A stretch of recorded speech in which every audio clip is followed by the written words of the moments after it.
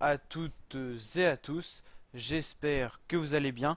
Aujourd'hui pour cette nouvelle vidéo, je vais vous montrer comment lire un CD ou un DVD sur son PC, que ce soit un PC fixe ou un PC portable.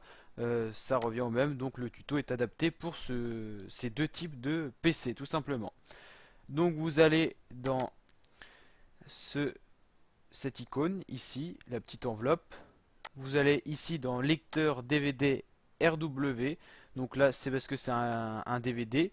Mais si c'était un CD, ça serait mis pareil. Donc là, si c'est un DVD que vous avez inséré dans votre ordinateur, vous pouvez donc lire un film. Quand vous achetez un DVD, tout simplement, vous avez euh, la possibilité de le lire et de le voir tout simplement sur votre PC. Si c'est un CD, vous avez la possibilité euh, d'écouter les différentes musiques.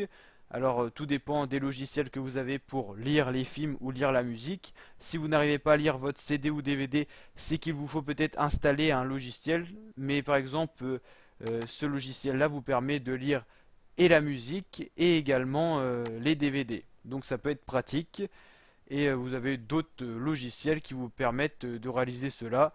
Donc vous pouvez les trouver également sur le Microsoft Store qui vous permet d'avoir une panoplie d'applications très pratiques et également des jeux. Donc c'est tout simple pour lire un DVD. Si il ne s'affiche pas ou euh, ne s'ouvre pas directement, vous allez dans l'icône petite enveloppe et vous allez ici euh, dans les différents disques que vous avez. Vous avez ici DVD ou CD qui s'affichera selon le type de contenu que vous avez ajouté dans votre lecteur.